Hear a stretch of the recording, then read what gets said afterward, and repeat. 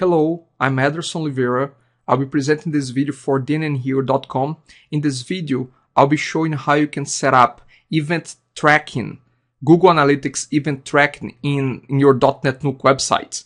Now, I'm assuming that you are uh, knowledgeable about uh, Google Analytics and you do have a Google Analytics account set up and your site is, has also Google Analytics set up on it. Now, I do have another video that does show how to set up Google Analytics. This is not the video on how to set up Google Analytics. This assumes that you have Google Analytics set up in your site and you want to be able to track events in your site as well. Now, what type of, what am, what am I talking about in terms of events here? Now, I do have a, a Google account here open, Google Analytics account. And by events, I mean the options when you come to content and to event tracking. Now, event tracking here has nothing, has no data because I did not set up events for this particular website. And what I'm going to do now is I'm going to show how you can do that on your DotNetNuke website. Now, again, the first thing is that your DotNetNuke website will have to have Google Analytics already set up. So, assuming that it's already set up, I'm going to log into the backend of the site and I'm going to log in as super user or admin. Admin will do that, will, will work as well. Now, what I want to track is, I'm actually going to delete this for now. I want to be able to track, for instance, how many people have downloaded a file from my, from my website, which cannot be tracked very easily if you are just using uh, Google Analytics out of the box without even tracking. Or if you are, if you have links in your site that you are directing people to other websites, then if you want to track how many people have clicked in this, in this link as well, then this is also another use of event tracking from Google Analytics. But how can you go about setting this up? Let me give the first example. Let's say that we want to track how many people have downloaded a certain document that is uh, available on your website, on your .NET website. So first thing is, let's make the document available. Let's add an HTML text module to this page. I'm going to in edit mode for the HTML module, and I'm going to add a document uh, to this to this uh, to this page. So let, I'm going to click on Document Manager and I'm just gonna upload one file and here is my file. And I have named it accounting.pdf I'm gonna open this and I'm going to upload so the document is there and I'm gonna click on insert. So uh, a link was added to this page and this link will point to that document. Let me open let me just remove this content. Accounting document. And here's the accounting document. I'm gonna save this so now we just have a regular link to a file as you can see in the status bar. It's a regular link to one file uh, that I can uh, open just by clicking on it. But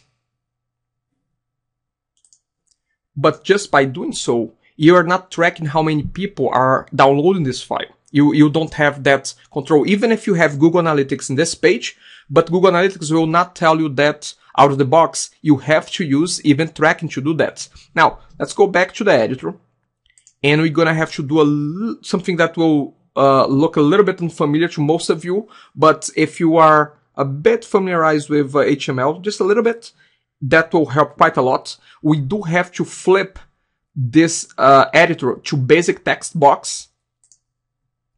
And here is the tag that links to the documents, the A tag, the link tag.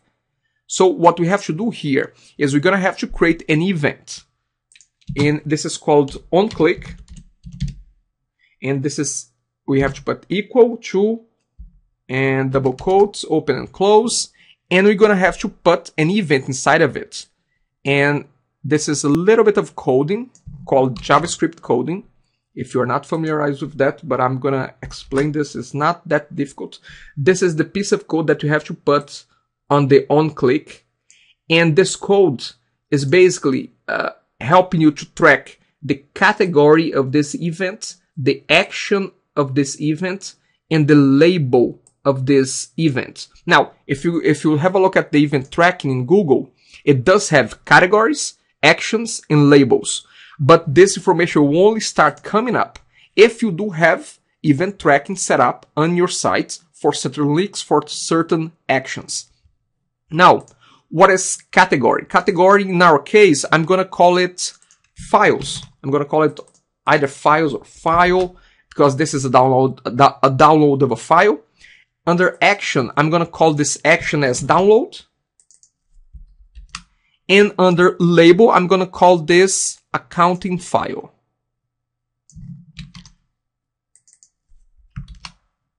So now we do have, again, you need to have Google Analytics set up in your site upfront.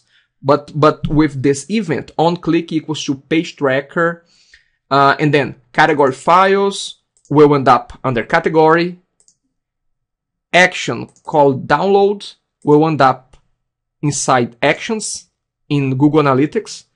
And accounting file will end up classified as label in, under the labels tag, under the labels uh, menu in Google Analytics. Now, once I save this, what will happen is that each and every time that someone clicks on this link, an event will be triggered and this information will be sent over to Google.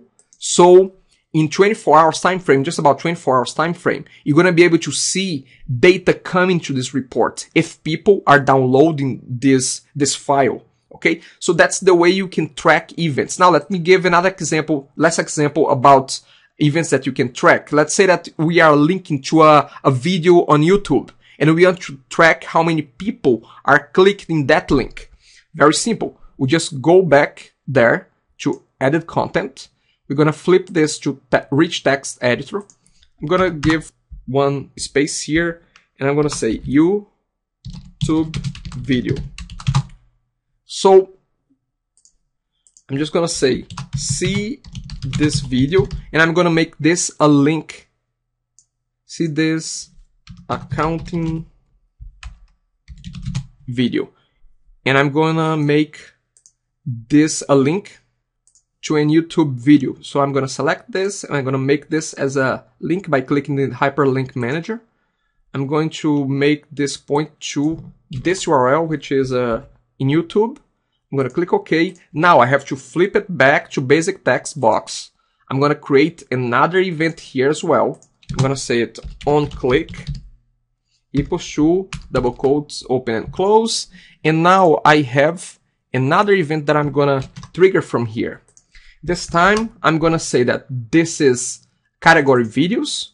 The event will, the action will be click and the label will be accounting video. So each one of those pieces of information will match to one of those menus here from Google Analytics. We have categories. The category is videos. We have actions. The actions will be click and we have label. The label will be accounting video. I just have to save this. And now each time that I click on see this accounting video, this uh, action will be registered in Google Analytics as well, and I will be able to see the reports on those on those clicks as well. So this is basically the way you're gonna go about setting up event tracking, event tracking in general, uh, event tracking from Google Analytics in your DotNetNuke website. Thank you very much, and bye for now.